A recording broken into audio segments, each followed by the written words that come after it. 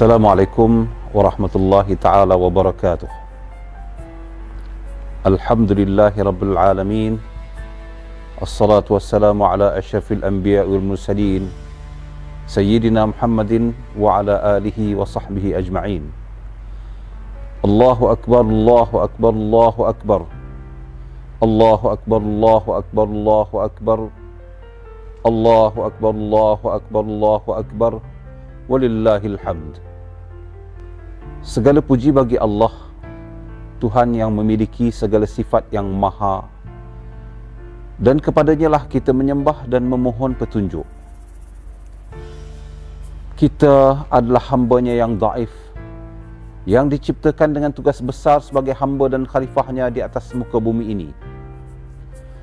Sebagai hamba, kita tidak akan mampu melaksanakan tugas yang berat ini melainkan dengan hidayah dan taufik darinya dan dengan pimpinan yang tepat untuk kita selamat di dunia dan akhirat.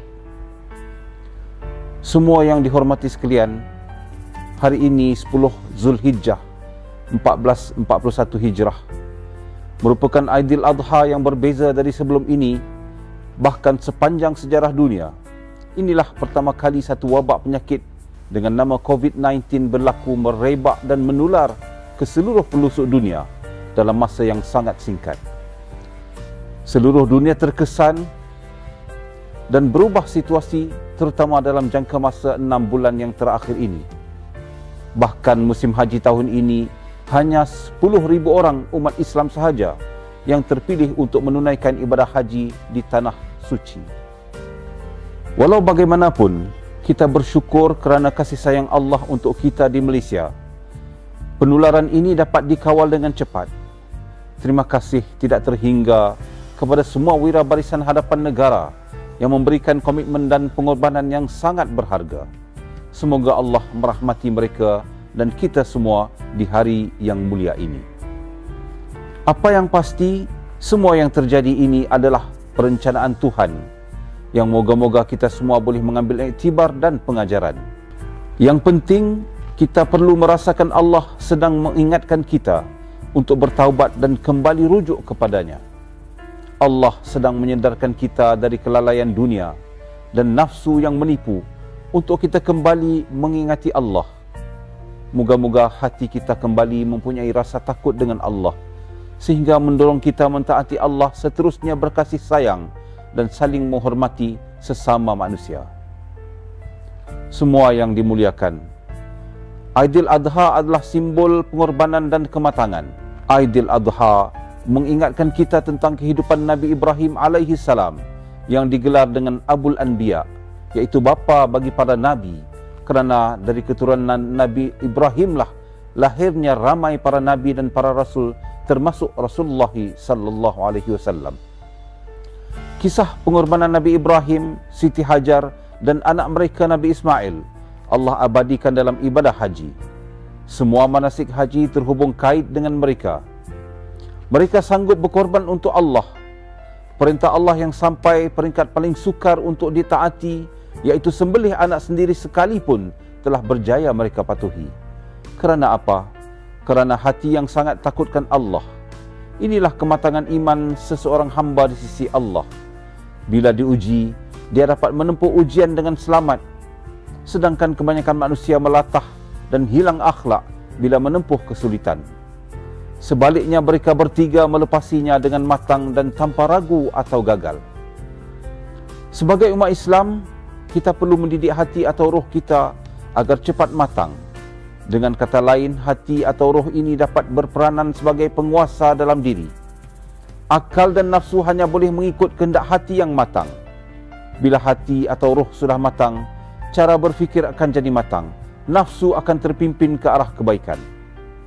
Inilah proses asas seseorang insan yang boleh berperanan sebagai hamba dan khalifah Allah, yaitu hamba yang matang imannya sehingga mempunyai rasa takut dengan Allah. Hamba yang matang dalam menghayati syariat Allah dalam semua bidang kehidupan. Semua yang dikasihi, Rasulullah sallallahu alaihi wasallam mengingatkan kita dengan sabdanya, Balighu anni walau ayah Sampaikan dariku walau satu ayah Hadis sahih riwayat Imam Muslim ini adalah amanah Rasulullah sallallahu alaihi wasallam kepada kita. Mari kita menyambutnya dengan berusaha membina model sistem hidup Islam yang syumul dalam diri, dalam keluarga, dalam masyarakat dan negara kita.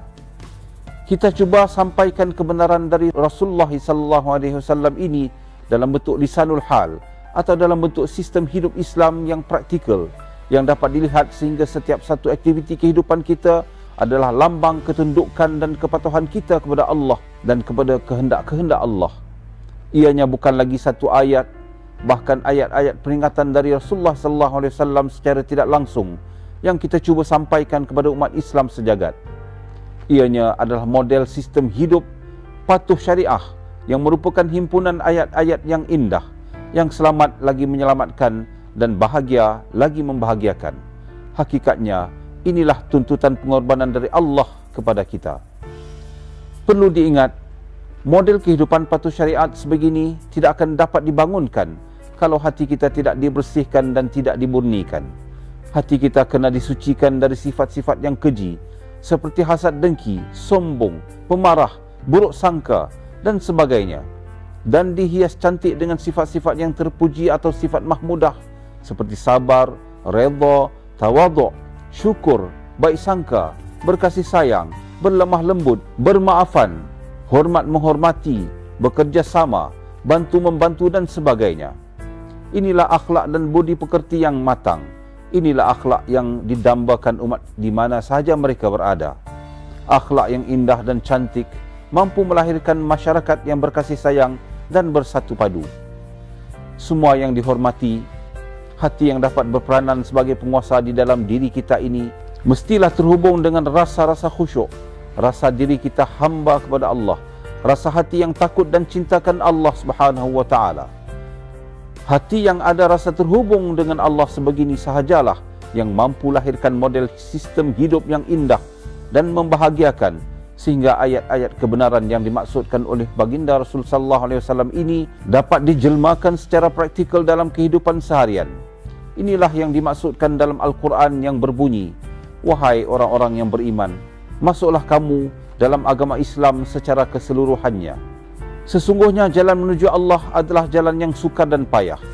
Kita mengisafi kesulitan yang wujud ini kerana 90% daripadanya tidak mampu dikesan oleh mata kasar. Kesulitan lahir masih mudah untuk ditangani, tetapi kesulitan mengendalikan hati adalah sesuatu yang amat sukar sekali.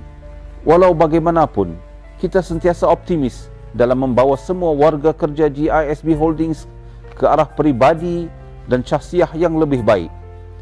Ianya proses yang berterusan demi membawa syarikat menuju kematangan. Kesannya sudah mula kelihatan dengan izin Allah.